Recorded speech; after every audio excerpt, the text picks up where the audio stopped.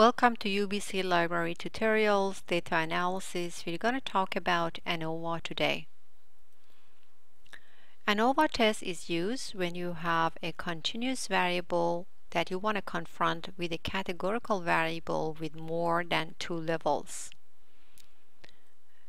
To demonstrate, I will take you to a database called demo.sav you should go to Analyze, Compare Means, and choose the last option, One-Way ANOVA. Select the variable of interest. Let's say we want to find out if there is any significant association between age and income categories.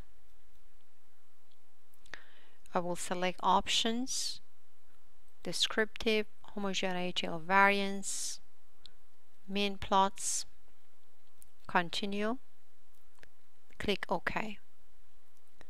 Here you have the number of sample within each category of income and the mean and standard deviation of each category is listed here for you plus your confidence interval minimum and maximum.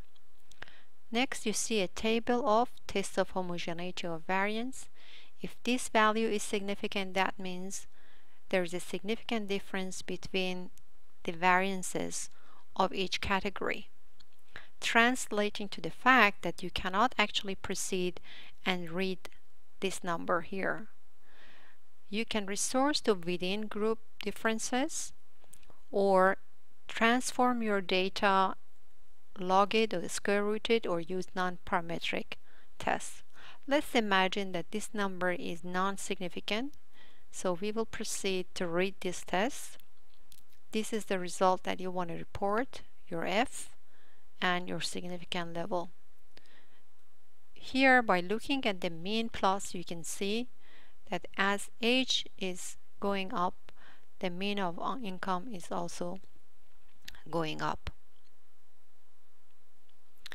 For your more information please contact research commons at ubc.ca or use these resources. Thank you.